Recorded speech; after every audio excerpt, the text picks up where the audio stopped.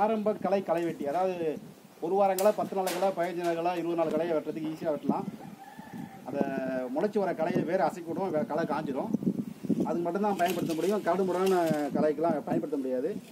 இதோட விலை வந்து சைக்கிள் ரிமோட வந்து ஐயாயிரத்தி முந்நூறுரூவா டிஸ்க் மட்டும் வேணும்னா நாலாயிரம் ஓட்டி காட்டும் பாருங்கள்